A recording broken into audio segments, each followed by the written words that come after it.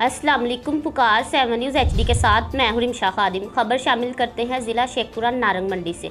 Junaid Ahmad ASI ने शदीद महँगाई और कम सैलरी की वजह से इस्तीफ़ा दे दिया। पुकार सेवन न्यूज़ के नुमाइंदे हैदर अली शाह की रिपोर्ट के मुताबिक। पूरा थाना नारंग मंडी में तैनात एएसआई ने शदीद महँगाई और कम सैलरी की वजह से अपना इस्तीफ़ा पेश कर दिया। जुनेद अहमद एएसआई ने लिखा है कि मैंने चौदह साल महकमा पुलिस को दिए ईमानदारी से नौकरी की। मेरी आधी तनख्वाह तो नौकरी पे लग जाती है अठतीस साल का हो गया। मैं ना अपना घर बना सका और ना ही शादी कर सका हूँ। एक रिश्का ड्राइवर मुझसे ज़्यादा कमा लेता है।